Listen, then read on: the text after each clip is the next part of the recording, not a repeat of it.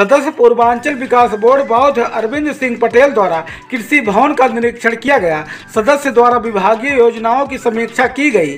उनके द्वारा परिसर के साफ़ सफ़ाई व्यवस्था, कर्मचारियों की उपस्थिति के बारे में, किसानों की शिकायतों के संबंध में पूछताछ की गई। योजनाओं की समीक्षा करते हुए निर्देश दिया गया कि सासमय योजनाओं का कार्य पूर्ण किया जाए और कृषकों को योजनाओं का लाभ प्रदान किया जाए। सदस्य द्वारा सरसों का मिनी किट कृषकों को वितरण भी किया गया। इस दौरान मौके पर उप कृषि निदेशक जिला कृषि अधिकारी पीयूष राय तथा अन्य लोग उपस्थित रहे। देखिए यह रिपोर्ट। हमारे यहाँ जो है agriculture insurance company of India है। पेमेंट पेमेंट की कितना कुछ हानि हुई? फार्मर हाँ, ये- बैंक जो केसीसी थी। हाँ। उनको रिस्पांस दिया पैसा हाँ, पैसा के यहाँ से निरंतर मैं पिछले चार सीज़न से देख रहा हूँ। जो इनका रिकॉर्ड है।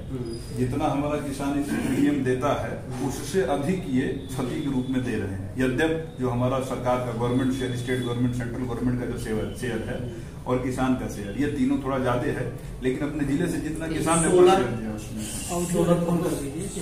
सोलर में थोड़ा सा इशू सोलर में इशू ये है कि पहले हमारे यहाँ लक्ष्य था पैंतालीस। जी अब फिर इसका टोकन एक दो तीन जुलाई में जनरेट हुआ। अभी ये लक्ष्य रिवाइज हो गया है। तो ये चला गया है पैंतालीस से तिरानवे।